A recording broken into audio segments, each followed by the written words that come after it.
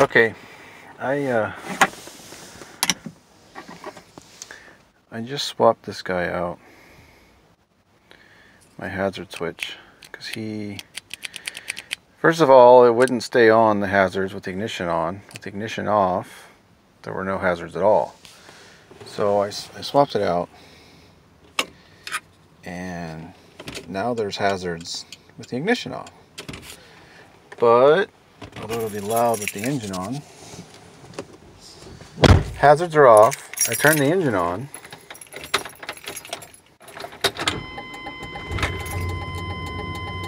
And my voltmeter is dancing. Not only that, if I try to turn my left signal, the left and the front works fine, but in the back, it's flashing both left and right like they're hazards.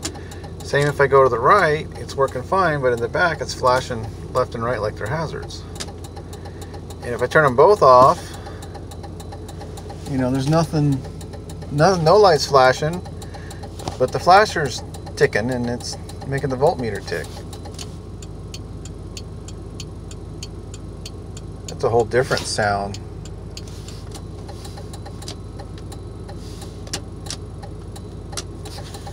So if you could help me out, I, I appreciate it. It's a 95 Suburban K1500.